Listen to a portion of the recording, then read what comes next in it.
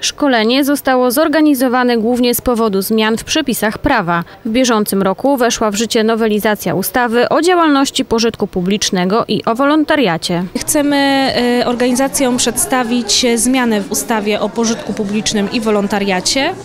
e, Nowe formularze, omówić te dokumenty e, po to, żeby uniknąć sytuacji, w których organizacje nie wiedziałyby, jakie zmiany zostały wprowadzone w ustawie, nie wiedziałyby, w jaki sposób poruszać się po tych dokumentach, ewentualnie gdyby miały pytania dotyczące tego, w jaki sposób e, e, coś wypełnić, czy e, pewne uwagi, możemy je sobie tutaj omówić. Jest z nami specjalista, który zajmuje się szkoleniami z zakresu ustawy o pożytku publicznym. Wielu działaczom sprawy formalne związane z pozyskiwaniem pieniędzy stwarzają duże problemy. Dla każdego na pewno działacza takiego sportowego jak my, no to nam to wszystko idzie bardzo ciężko, bo wiadomo, naszym głównym zadaniem jest uprawianie sportu strzeleckiego w naszym wypadku i e, trenowanie młodzieży, trenowanie dorosłych, żeby uzyskać wyniki, ale niestety, żeby drogą do tego są środki, które niestety muszą być pozyskiwane właśnie ze źródeł zewnętrznych. Wiele organizacji i stowarzyszeń podkreśla, że dofinansowanie jest koniecznością, żeby w pełni realizować zadania. Jesteśmy cały czas w dziurze.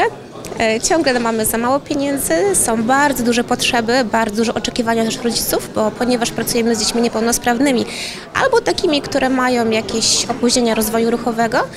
e, I tu na terenie kołobrzyńskim jest ogromne zapotrzebowanie, natomiast nam nie starcza przez cały rok na funkcjonowanie. Generalnie nam starcza pieniędzy do września, a potem po prostu tych pieniędzy nam brakuje i czekamy albo na dodatkowe środki, jak wypracujemy. E, Oczekujemy też od gminy i od miasta, że może akurat w przyszłym roku będą dotować więcej. Jedną z nowości jest składanie wniosków i sprawozdań w systemie online. Wersje papierowe od przyszłego roku nie będą przyjmowane. Nie będziemy musieli już wykonywać papierowo.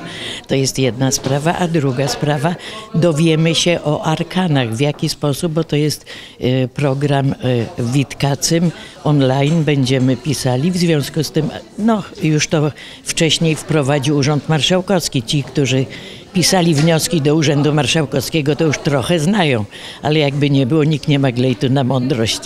Szkolenie dotyczące procedur składania ofert, wniosków i sprawozdań za pośrednictwem serwisu witkac.pl odbędzie się w piątek o godzinie 16 w sali konferencyjnej w Urzędzie Miasta.